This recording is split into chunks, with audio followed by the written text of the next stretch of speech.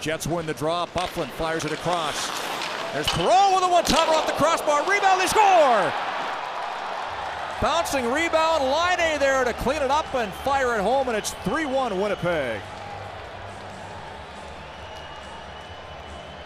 And I'm not so sure if Mike Smith thought the initial shot was in, and he kind of stopped playing here. It's right off the draw. Winnipeg Jets do a nice job, move the puck around the top. And this shot here, I think he thought it was in, and he, he kind of lost where the puck went, or it goes right onto the guy, if you're a Calgary Flames fan, that you don't want, in Patrik Laine, who just always seems to be in the right place at the right time.